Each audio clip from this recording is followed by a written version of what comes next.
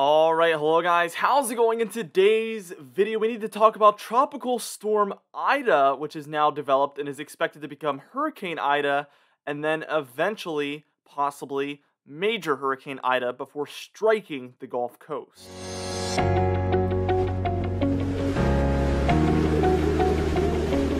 Now, before we get into the video, I would ask that you smash that like button, leave a comment down below, and subscribe for more weather-related content. I would also like to remind you guys that just a few days ago, we uploaded our third winter forecast, and a lot of people have been loving that one. I would like to recommend that you check that one out as well if you haven't caught that one yet. That's going to be on the top right corner of your screen. You also see those question marks on screen. We're going to reveal what's underneath those question marks at the end of that video, so if you check that out, you can figure out what that is. And also, we're going to be revealing that precipitation forecast, temperature forecast, and that snowfall forecast also within that video. For today's comment of the day, I want to know what category do you think this storm will end up being at its peak? Let me know in the comments down below, and I will be picking one of those for tomorrow's video. Let's finally get straight into this video, and first things first, we're taking a look here at the five-day graphical tropical weather outlook. And as you can see, we have Tropical Storm Ida, as I said before. We also have our code red down there in the southern North Atlantic. And then kind of in the central North Atlantic, we have kind of a more moderate chance which is weird because these are the opposites of what they were. Uh, the top one was red, the bottom one was yellow in our last update, I believe. And now the bottom one is red, the top one is orange. So we've kind of flipped here. Starting with that red one, which we've been tracking for about a week now, this one has an 80% chance of development now, but it is heading directly northward towards basically no land. So this one is basically a non-event. Uh, same story with this northern one. It's going to probably fizzle out if it does develop there in the very far North Atlantic. Uh, so that is also good news up there. They might add named storms to the list of named storms, which some people keep track of that and actually care. Uh, but really, I'm more just about tracking the weather that's going to impact people. Uh, but it, that is pretty interesting that those could kind of buff up the numbers, although they, again, really not going to lead or, or result in anything, uh, which is very, very good news. Now, here is that cone forecast from the National Hurricane Center for Tropical Storm Ida. And as you can see, this one is expected to remain a tropical storm through the night tonight, and even, yeah, so through the night tonight, but by about 2 p.m. tomorrow on Saturday, that's going to be August 28th, they're expecting it to be a hurricane by that point. And then by the time we're reaching 2 p.m. on Sunday, this one should be a major hurricane. I have it about a 50 50 shot at becoming a major hurricane, maybe a 60 40, I would say maximum. So it's not super like guaranteed odds but the odds are pretty good at this point of that happening. We do have hurricane watches up for the entire coast of Louisiana, and then the entire coast of Mississippi, and a bit of the coast of Alabama as well, where those impacts are possible for all of those regions. And then it's going to kind of head in inland there towards Mississippi, possibly Arkansas, possibly Alabama, but it's going to curve towards the east after that point. Now, what we're going to do is we're going to move on. We're going to take a look at satellite imagery we're going to take a look at the spaghetti model guidance, the intensity guidance, and then we're even going to take a look at the individual models and what their maximum wind is for this one. And then also the total rainfall, storm surge, and the most likely arrival time of tropical storm force winds. All of those things are coming up in just a moment.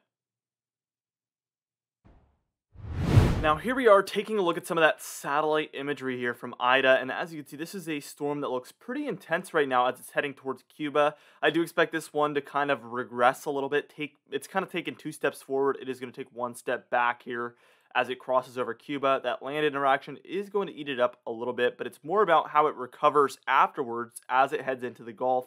We should see this one really rebound and really begin to intensify far beyond what it was before hitting Cuba. Right now, actually, we have a pretty nice split there, as you can see in between uh, the two darker red and black areas there. There's kind of those greens showing up, which is indicating shorter clouds. Usually this is a intensifying storm. I look for that kind of a characteristic in there. But again, Cuba's going to eat it up pretty good. So we're going to have to just see what happens afterwards. Here's actually the low pressure location. And that low pressure center is on the very southern side of these clouds as we speak.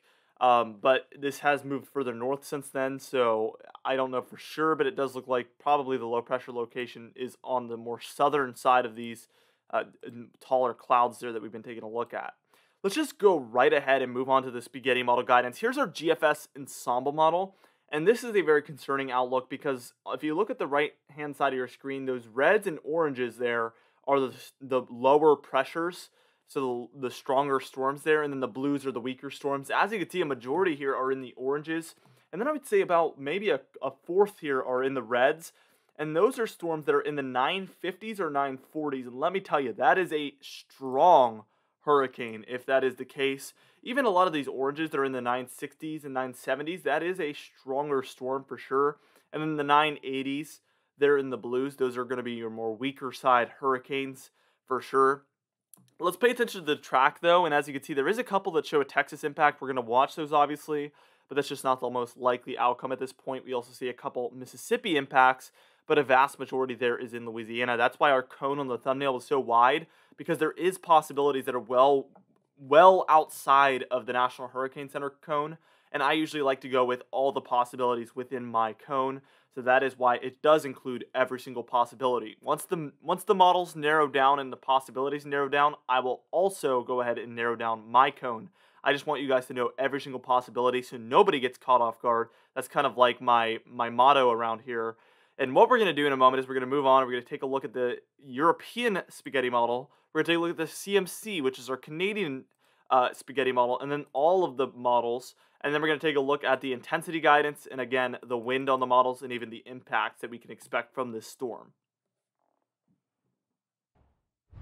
All right, now here we are taking a look at the European spaghetti model. It's the same thing here. Again, that very wide variety of possible uh, the possible tracks here. We see central Texas coast possibility, a majority still in Louisiana. We do see a, a large cluster there actually in that area in between Louisiana and Texas, though, where a lot of northern Texas coast would be impacted. But the mean average is that black line, and you can see that that's more for central Louisiana. The interesting thing here is that this mean average track is very close to the GFS mean average track there that we just saw a second ago. And then also the intensity guidance, if you look to the right side of your screen once more, is also very similar. We have a handful of those models going into the 950s and the 940s, a majority there in the 950s and 60s, even 70s as well. And then we have another handful there in the 980s. So yes, this is a very similar outlook. It's kind of very concerning to actually see this agreement here because that usually means that they're onto something. Uh, so we usually watch for that as well. Let's take a look at the Canadian model, and this is the weaker of all the models. The mean average track is also very similar, showing a Texas all the way to an Alabama impact, but the mean average is still central Louisiana. So that is, again, another very similar track. But on this one, we see that a vast majority here are in the 980s and 990s as far as the track goes and the intensity goes. But we do have a handful of 970s as well at this point. Now, here is all the individual models, and as you can see, a vast majority here have that Louisiana impact. We have one showing a Florida Panhandle impact, which is obviously way outside of what any of the other models are calling for. That's what we call a classic outlier, and the chance of that happening is probably 1% or less at this point, but it is possible. Obviously, one model shows it, it's possible. That's my rule of thumb. If something's showing it, it is possible. Tropical Storm Ida model intensity guidance here. And as you can see, the hours are on the bottom, by the way, but we can see that this one is at kind of a lower tier tropical storm. By 24 hours from now, we should be talking about a storm that is probably in the stronger half of a tropical storm there, probably above 50 knots. Uh, and then by the time we're reaching about tomorrow afternoon, we should be into category one status. Uh, we have a couple there that just show this one kind of hovering in that category one status, but as you can see, there's a large group of models that take this one straight towards category two, and then half of those actually take it towards category three status at this point. So yeah, I think it's about.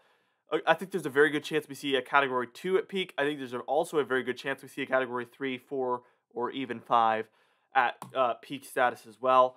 Here's our individual models, and we're looking at the wind speed by time we're taking a look at these storms just offshore and reaching onshore of Louisiana. And for our, our European model here, as you can see, the maximum wind within there is 98 miles per hour, which would be a category 2. So that is what we would be looking at on this European model for central Louisiana, as you can see.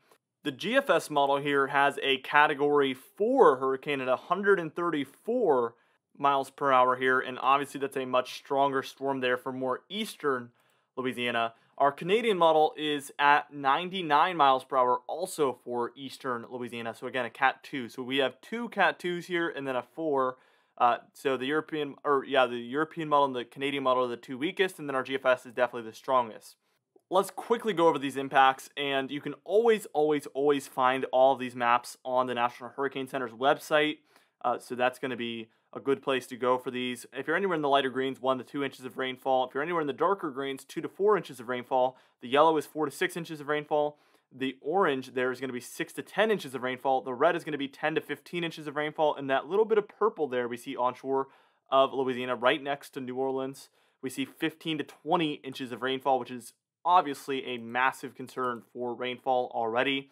As far as our storm surge here, we see a lot of eastern Louisiana expected to be at about 7 to 11 feet, which is going to be a pretty large storm surge. Obviously, we have some uh, we have some 3 to 5 there. Uh, we have some 4 to 7 there, surrounding regions, and then 2 to 4, even 3 to 5 there uh, in Mobile Bay.